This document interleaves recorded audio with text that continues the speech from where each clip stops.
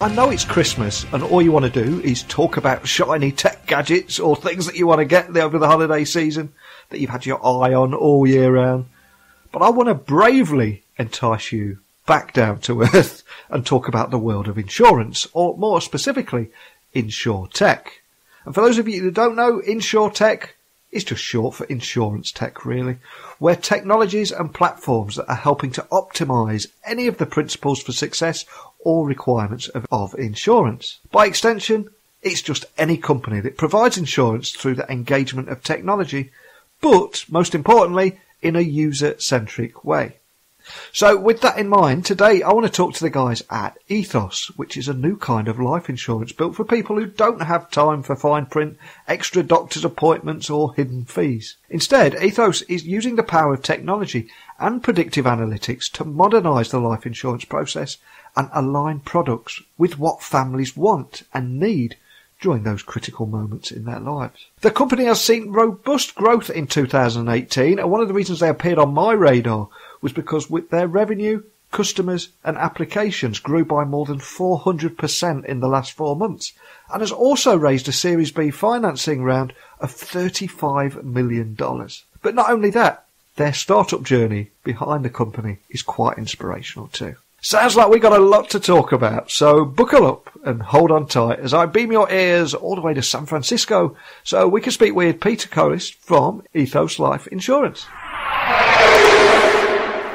So, a massive warm welcome to the show. Can you tell the listeners a little about who you are and what you do? Absolutely. I'm the CEO of Ethos Life Insurance. My name is Peter Colis. Um, we are a life insurance company built for people who don't have time for fine print, extra doctor's appointments, or hidden fees.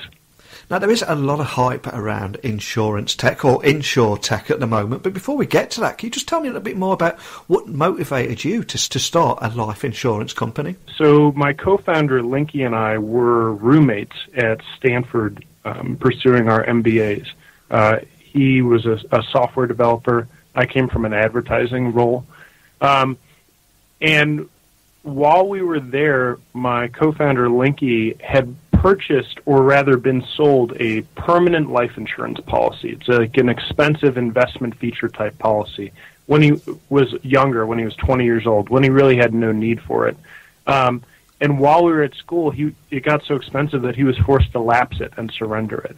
And so, this kind of concept of someone being sold something they didn't really need sparked our interest in the business. And the more we dug, the more we learned to love it because it's a product that's intrinsically very good for people. If you look at uh, the U.S., about 5% of kids will unfortunately lose a parent before they're 15 years old. And so the product itself has a, has a, a great need. 70% of families, if they lost the breadwinning parent, would be bankrupt within a few months.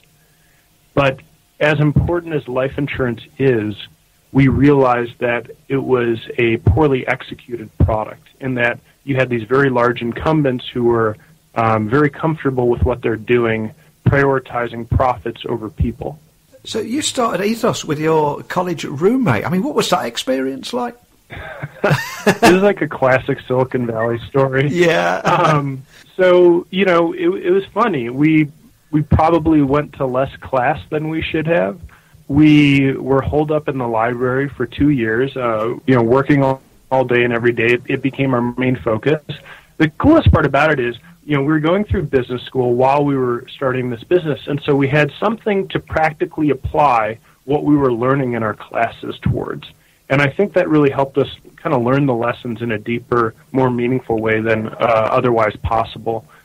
Um, but it, it was a great experience. Uh, Silicon Valley and especially Stanford is is a a wonderful place to foster, um, you know, a, a, new business with the relationships that you can make, all the people who are interested in helping you, um, and just the general enthusiasm and excitement so with Ethos, I believe 99% of applicants do not have to undergo any medical exam or blood test and are approved in under 10 minutes. So how are you able to provide life insurance to consumers completely online? Correct. Ethos um, is a drastically different experience than the traditional industry experience.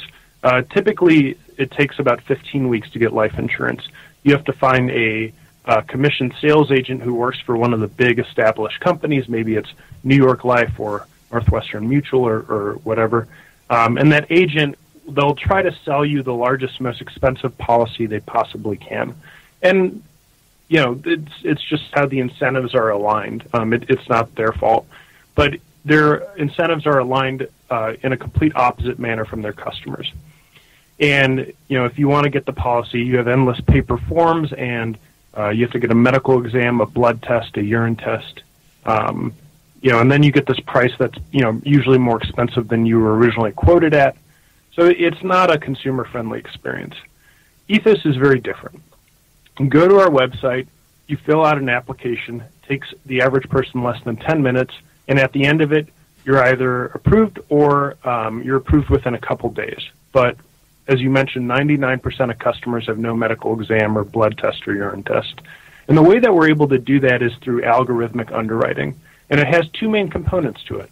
One is being able to validate if someone is being, um, you know, transparent with us and forthcoming about um, you know, whether it's their behavioral history or their medical history.